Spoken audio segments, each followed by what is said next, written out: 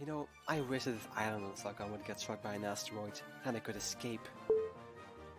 No, I'm built different.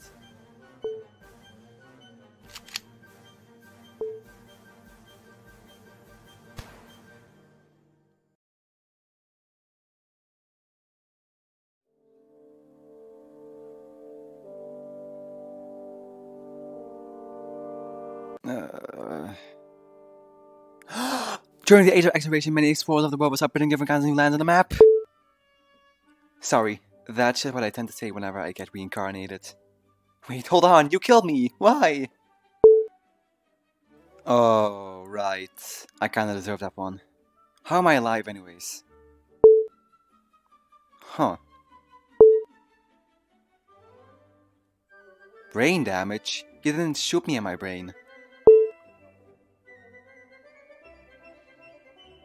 You have a suspiciously large amount of knowledge about my anatomy. Whatever, I probably don't have any brain damage anyways, I feel perfectly fine. Say, does anyone else have the sudden urge to talk about vexillology? Hello and welcome to the Vexillology Volumes, a series of videos where I put the ill in vexillology. So for the first installment, let's talk about that burning question in your mind right now. What the heck is a vexillology? Well, I'm glad you asked. Oh whatever, just start the damn video. Vexillology studies all things relating to flags, most importantly, where they come from and what they symbolize. The word is a synthesis of the Greek logia, meaning the study of, and the Latin vexillum, the forefather of flags. Unlike modern day flags where the hoist is hung on the side of a pole, the vexillum was suspended at the front of a staff with a spear on top, making it the perfect weapon for us vexillophiles.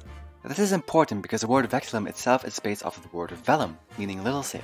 It's likely that the vexilla were used to communicate signals between ships, just like the Greeks did, and the infantry on the ship took the flag to the battlefield, which is why they were later used to represent a legion or a temporary military unit of the empire.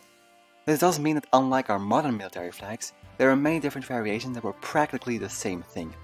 They might mention if they're infantry or cavalry, a legion or a cohort, the number of their legion or the place that their legion fights in, animals representing the zodiac sign of the legion, or a boar representing royalty, or even a pegasus symbolizing the speed of the cavalry. Sometimes they say screw it and throw the goddess of victory Victoria herself on the vexillum to show off how much better they are than you. This is a modern recreation that you can find on Wikipedia, but I've got no idea what it means. Could someone who studies Latin help me out here? Maybe then your studies could actually be useful for once.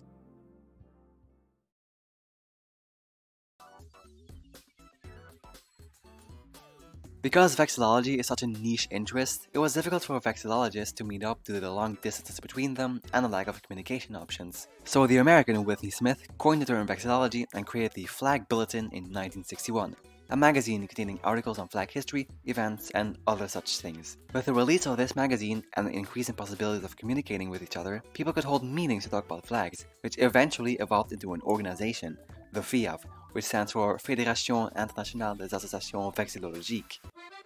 The FIAV holds meetings where flag fanatics share some of their studies on flags, and studies on the symbolism of a flag are very popular among them. Let's practice that ourselves with the flag of the organization. The flag has a blue background representing the sea, since those early vexilla were used at sea to communicate signals. Two yellow halyards, ropes on a sailing ship, are interlaced, symbolizing the friendship between the vexillologists. The loops create two hemispheres, and there are four ends of the rope. Together we get six, representing the regions of the world. Because fuck Antarctica. Also, the four ends seem to be able to go on forevermore, because the study of flag is endless. You will not escape. My flag is a little simpler. It's got a leaf in the middle with very autumn-like colors, my favorite season, and the lines on the side symbolize the swaying of the leaf in the wind, just like the swaying of my view count. So what's your flag based on, eh? Yes, that's why I asked. Hey, maybe that's what EBM stands for. Yellow, black, and orange.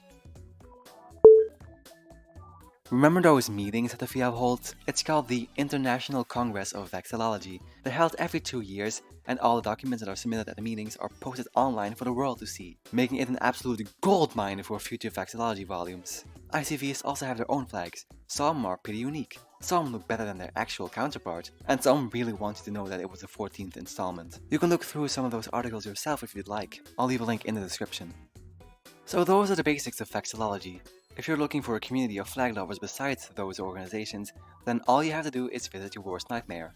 So let's put a bow on this video. Before and after the ICVs, a band plays a song called Marcia Vexillum as a big ceremony. Let's listen to it together.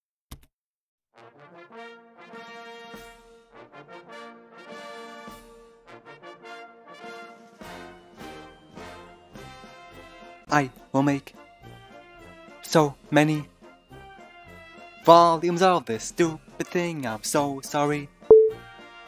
EBM, you and me, we will make the world aware of our fury. For the subs and the dubs, hoping that the darn system will notice me. Night and day working late. But to do that, I will need a lot of mugs of coffee.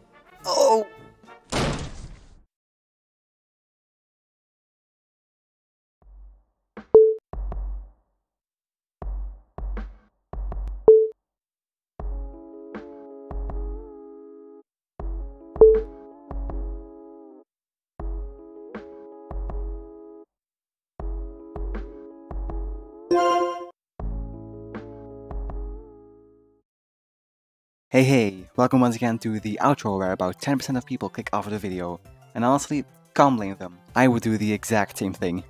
Anyways, if you liked that video then subscribe because I'll be making a lot more content like this. Also, I post daily in the community tab on my channel, usually drawings to these next video, but eventually some other stuff like polls that you can participate in. Alright, see ya!